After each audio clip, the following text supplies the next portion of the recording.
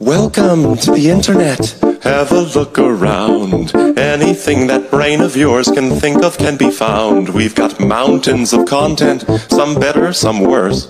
If none of it's of interest to you, you'd be the first.